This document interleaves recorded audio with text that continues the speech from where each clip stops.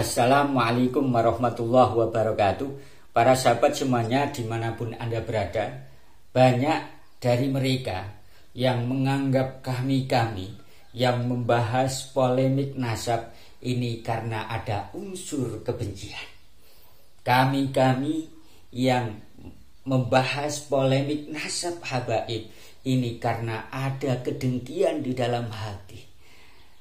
Banyak dari mereka yang menganggap kami yang membahas polemik nasab habaib ini karena ada unsur adu domba.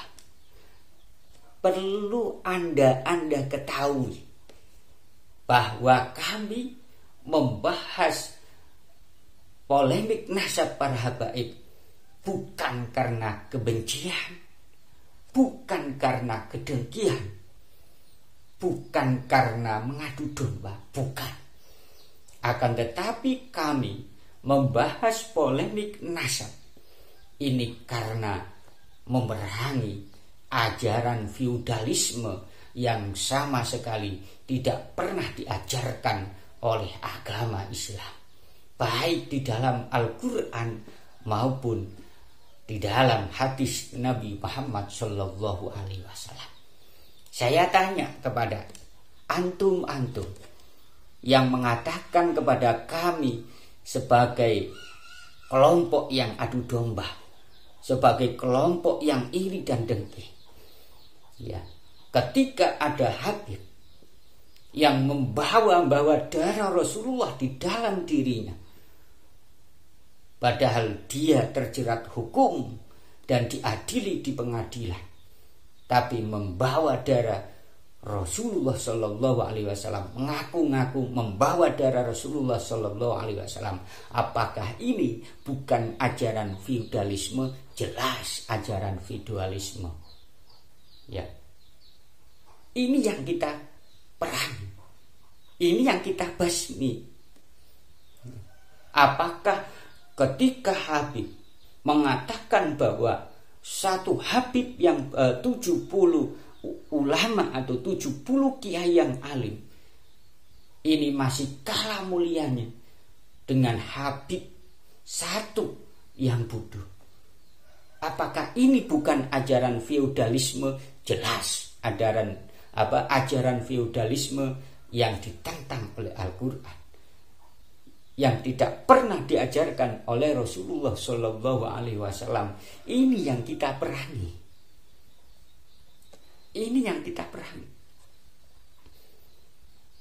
Apakah ketika ada Habib yang mengatakan bahwa ya fakih mukoddam ini derajatnya kewaliannya di atas dari Syekh Abdul Qadir Al Jilani bahkan cenderung memojokkan atau merendahkan Syekh Abdul Qadir Al-Jailani.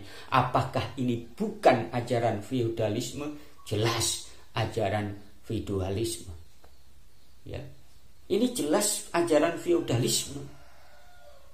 Ini yang kita perangi, ini yang kita basmi. Ya.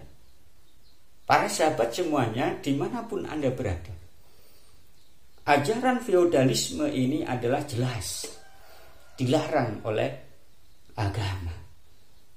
Baik di dalam Al-Quran maupun di dalam hadis. Sudah berkali-kali saya katakan bahwa ya yang membedakan kita adalah ketakwaan kita Inna akramakum indallahi atqukum. Jadi semuanya sama. Yang membedakan adalah ketakwaan kita kepada Allah Subhanahu wa taala. Nabi pun juga pernah jelas.